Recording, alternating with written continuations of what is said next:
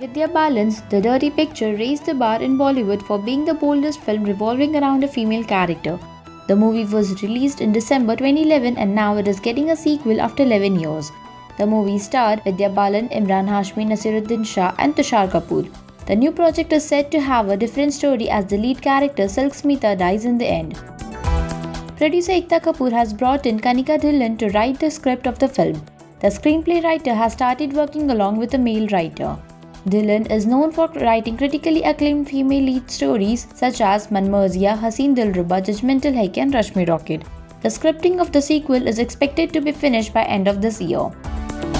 For a long time, producer Ekta Kapoor has been plotting a sequel to The Dirty Picture. After exploring dozens of ideas, she has finally come to one notion. Ekta and her team at Balaji Motion Pictures are all excited about this special project. The Dirty Picture sequel is expected to go on floors in the first quarter of 2023. Talking about the lead character, Ekta wanted to cast Kangana, but she turned down the offer as she doesn't want to disturb her righteous image.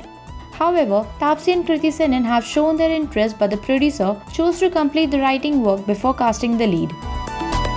The first part was directed by Milan Luthria, but right now it is uncertain if he will return to helm the project or if someone else will get on board.